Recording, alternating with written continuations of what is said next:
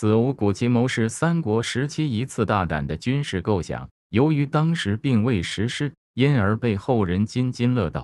支持的人说：“兵者，诡道也。如果诸葛亮当时采用此计，那么蜀汉的命运将被改写。”反对的人说：“此计风险太大，几乎等同于直接送命。”公元二百二十八年春，蜀汉在经过多年的准备之后，以兴复汉室、还于旧都为由。在诸葛亮的率领下，正式开始北伐中原，进攻曹魏。要想从北伐的出发地汉中到达目的地关中地区，就必须要面对秦岭这个巨大的阻碍。秦岭可不只是一座山，而是一群山。这里山高林密，地形复杂，有很多峡谷，时不时还有猛兽出入。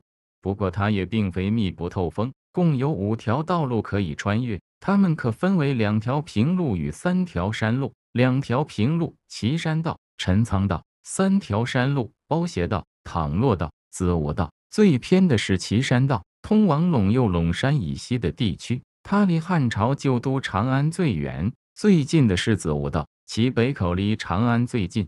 诸葛亮属于远派，喜欢走更远的平地，主张更稳妥的边打仗边屯田的作战模式。以保证军队粮草充足，然后在此基础上逐步往长安方向一路平推。所以，他认为第一次北伐的路线应当走最偏的岐山道，因为该道所通往的陇右地区不仅地势平坦，适合种田，而且养马业发达，盛产好马。这对缺乏骑兵的蜀军来说是极具吸引力的。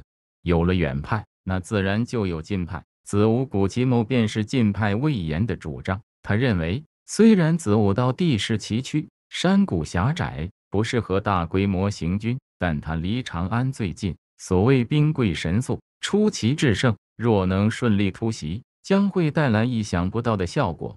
根据魏略的记载，当时魏延具体的提议是，请丞相借他五千精兵，再加五千人运粮，从包中出发，沿着秦岭往东走，再通过子午到北进。不过十日可到长安。魏延听说镇守长安的夏侯茂年纪小，只是凭借曹操女婿身份当的太守，就是一纨绔子弟，生性胆小懦弱，又无谋略。到时听到蜀军突然来了，他必定乘船逃走。这样长安城内就只剩下那些不懂军事的御史、京兆太守等文官。至于粮草补给，可以去长安粮库拿。也可以依靠城中百姓的谷物，一共能坚守差不多二十天。丞相率主力部队从斜谷来，由西向东进军，在二十天内与他会合，那么关中西部地区皆可平定。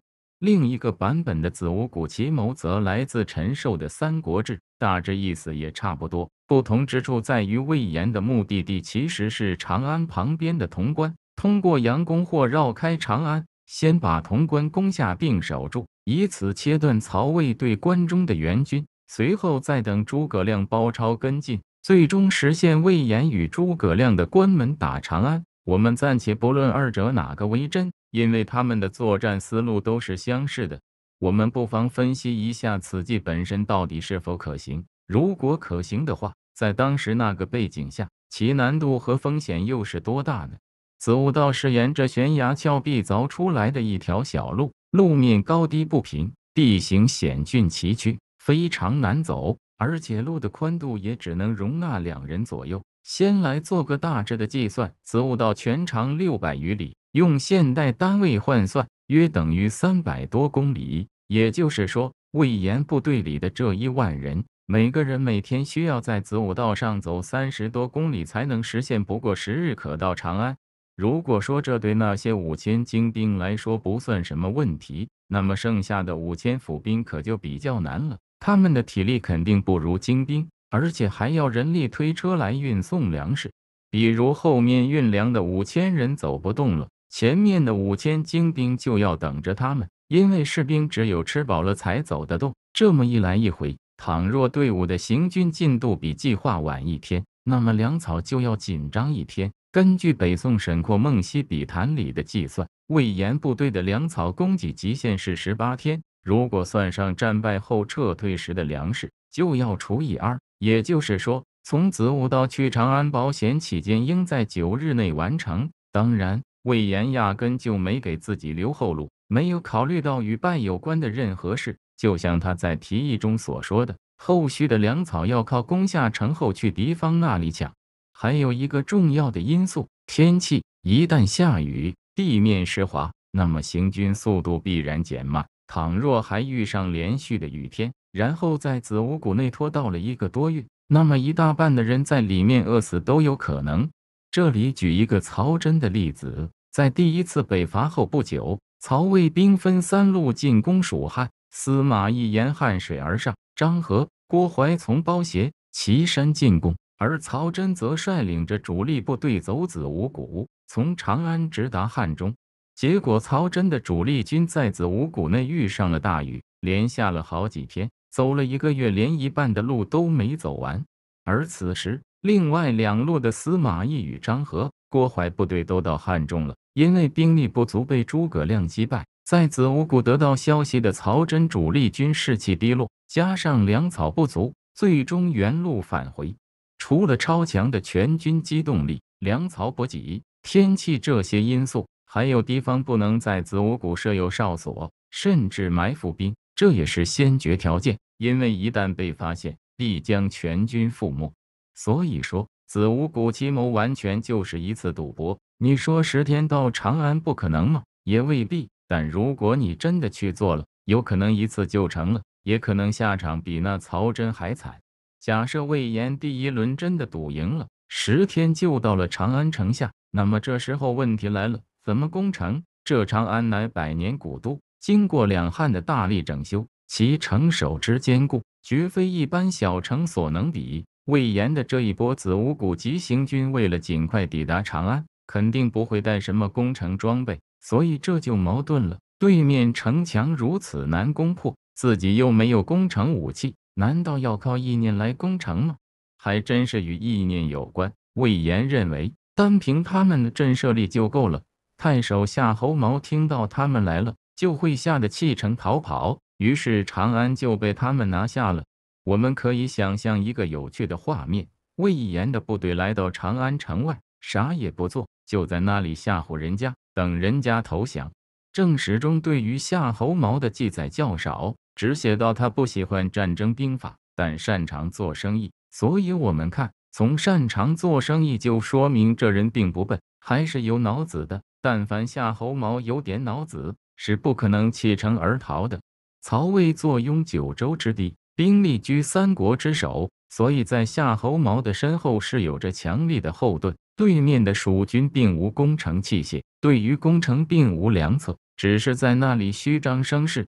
况且这长安是大城市，是曹魏西部的大本营，兵精粮足，不是随随便便就能降的。退一万步说。就算夏侯茂真的胆小至极，坐船逃跑，但此时城内还有其他官员在，他们就一定会乖乖投降吗？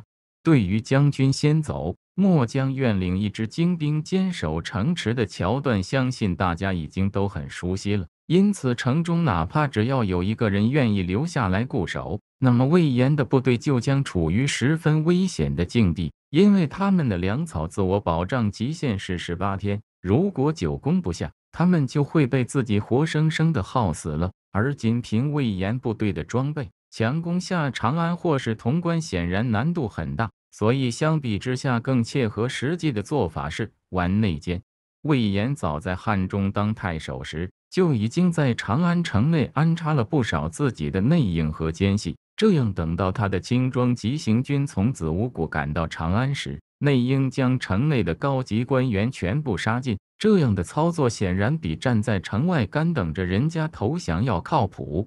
如果魏延当时真的有这个安排，他就一定会告诉诸葛亮，否则永远无法打动诸葛亮采纳其计策。而魏略和《三国志》都没有提及魏延安插了内应。当然，还有另一种情况可以拿下长安：夏侯茂等人实在忍受不了魏延军的挑衅和侮辱。结果，长安守城军打开城门，主动出击，最后被久经沙场的魏延击败。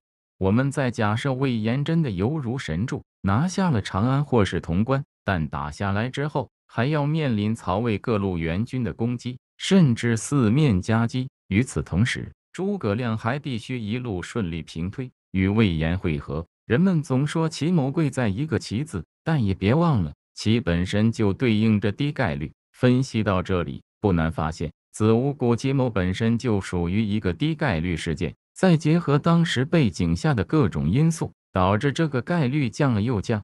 当时的蜀国全国兵力不超过十万，魏延的子午谷奇谋若是失败了，蜀汉就要损失整整一万兵力，还要失去魏延这样珍贵的名将。而魏延要是成功了，蜀汉就将用全部的兵力与曹魏不到一半的兵力决战，赢了确实能一统关中，但败了就是直接灭国。所以说。蜀汉的国力、兵力决定了其无法承受子午谷奇谋带来的种种风险。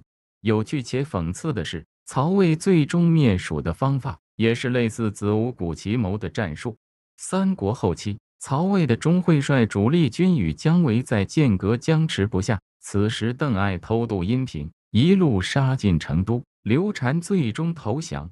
有人就会说，刘禅都投降了。这长安的夏侯茂为什么就不会投降呢？这还得从当时的背景来分析。魏国曹睿乃明君，且曹魏实力强大，兵马粮草充足，而蜀国一旦奇袭失败，则有灭国风险。蜀君刘禅听信小人谗言，乃昏君。蜀汉本就民困国乏，兵马粮草严重不足，成都城内的很多人都不想为刘禅效力了。而魏国即使奇袭失败，还有大把的机会再次伐蜀。顺便提一句，邓艾偷渡阴平时，全军那也叫一个惨烈。魏延的子午谷奇谋要想顺利完成，要经过三轮的考验，顺利走完，对方开城投降，攻占后守住。所以，要想实现子午谷奇谋，天时、地利、人和必须全部满足。只要少了其中一个，那么全军必然原路返回。甚至被对手全灭。您是如何看待子午谷奇谋的可行性呢？欢迎在评论区分享您的看法。喜欢的话，别忘了点击订阅。感谢您的支持。